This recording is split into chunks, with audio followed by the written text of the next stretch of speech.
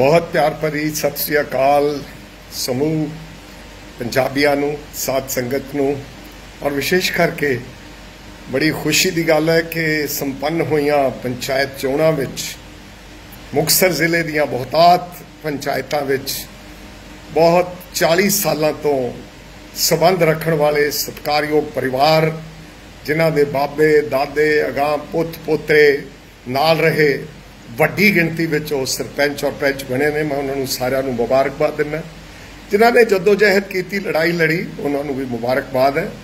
ਪਰ ਮੈਂ ਗਿੱਦੜਬਾਹ ਹਲਕੇ ਦਾ ਜ਼ਿਕਰ ਵਿਸ਼ੇਸ਼ ਕਰਕੇ ਕਰਨਾ ਚਾਹੁੰਦਾ ਹਾਂ। ਸਭ ਤੋਂ ਵੱਧ ਫੋਨ ਗਿੱਦੜਬਾਹ ਹਲਕੇ ਦੇ 55 60 ਨਗਰਾਂ ਚੋਂ ਜੋ ਆਏ ਹਨ, ਉਹਨਾਂ 'ਚ ਬਹੁਤ ਗਰੀਬ ਭਰਾ ਜਿਨ੍ਹਾਂ ਨੇ 37% ਆਬਾਦੀ ਇਸ ਗਿੱਦੜਬਾਹ ਵਿਧਾਨ ਸਭਾ ਹਲਕੇ ਦੀ ਮੇਰਾ ਹਮੇਸ਼ਾ ਸਾਥ ਨਿਭਾਇਆ।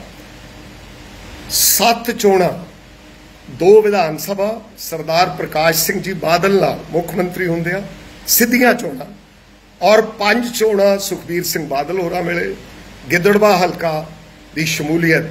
ਹਮੇਸ਼ਾ 50000 ਤੋਂ ਵੋਟ ਕਦੇ ਘੱਟ ਨਹੀਂ ਪਈ ਤੇ ਮੈਂ ਕੈਲਕੂਲੇਟ ਕਰ ਰਿਹਾ ਸੀ 80 ਤੋਂ ਲੈ ਕੇ ਤੇ 2004 ਤੱਕ ਜਾਂ 2000 1999 ਦੀ ਚੋਣ ਤੱਕ ਲਗਭਗ 30 ਲੱਖ ਵੋਟਾਂ ਲੋਕਾਂ ਨੇ ਇਹਨਾਂ ਵਿਧਾਨ ਸਭਾ ਔਰ ਲੋਕ ਸਭਾ ਦੀਆਂ ਚੋਣਾਂ ਵਿੱਚ ਮੈਨੂੰ ਪਾਈਆਂ ਗਿੱਦੜਬਾਹ ਕਰਮ ਭੂਮੀ ਹੈ, ਜਨਮ ਭੂਮੀ ਹੈ ਔਰ ਸਾਰੀ ਸੰਗਤ ਇਹ ਕਹਿ ਰਹੀ ਹੈ ਕਿ 13 ਤਾਰੀਖ ਦੀ ਚੋਣ ਦਾ ਐਲਾਨ ਪੰਜਾਬ ਦੀ ਜ਼ਿਮਨੀ ਵਿਧਾਨ ਸਭਾ ਚੋਣ ਗਿੱਦੜਵੇ ਦਾ ਹੋਇਆ ਤੁਹਾਨੂੰ ਇਹ ਚੋਣ ਲੜਨੀ ਚਾਹੀਦੀ ਹੈ ਕਿਉਂਕਿ ਤੁਸੀਂ 2004 ਤੋਂ ਲਗਭਗ ਇੱਕ ਵੱਡਾ ਬਨਵਾਸ ਵਿਧਾਨ ਸਭਾ ਤੇ ਲੋਕ ਸਭਾ ਤੋਂ ਬਾਹਰ ਹੋ।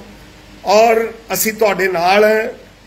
ਔਰ ਮੈਨੂੰ ਇਸ ਗੱਲ ਦਾ ਮਾਣ ਤੇ ਫਖਰ ਵੀ ਹੋਇਆ, ਉਤਸ਼ਾਹਿਤ ਵੀ ਹੋਇਆ ਕਿ ਹਥਿਆਰ ਜਿਹੜੇ ਟੰਗੇ ਨੇ, ਉਹਨਾਂ ਨੂੰ ਗੰਢੀਵ ਤੋਂ ਚੱਕ ਲੈਣਾ ਚਾਹੀਦਾ ਹੈ, ਕਿਉਂਕਿ ਸੂਰਜ ਚੜ੍ਹਦੇ ਛੁਪ ਜਾਂਦੇ ਹਨ, ਮਗਰ ਮਨਾਂ ਵਿੱਚ ਚੜਨ ਵਾਲੇ ਸੂਰਜ ਕਦੇ ਨਹੀਂ ਛੁਪਦੇ। ਮੇਰੀ ਸਭ ਤੋਂ ਕਰਮ ਭੂਮੀ ਗਿੱਦੜਵਾ ਜਨਮ ਭੂਮੀ ਹੁਸਨਰ ਗਿੱਦੜਬਾਹ। ਮੈਂ ਇਹਦੇ ਬਾਰੇ ਆਉਣ ਵਾਲੇ ਦਿਨਾਂ ਵਿੱਚ ਨਗਰਾਂ ਦਾ ਟੂਰ ਕਰਕੇ ਕੋਈ ਫੈਸਲਾ ਲੈਣ ਜਾ ਰਿਹਾ ਹਾਂ। ਤੁਹਾਡੇ ਸਹਿਯੋਗ ਦੀ ਲੋੜ ਹੈ ਸਾਧ ਸੰਗਤ ਜੀ।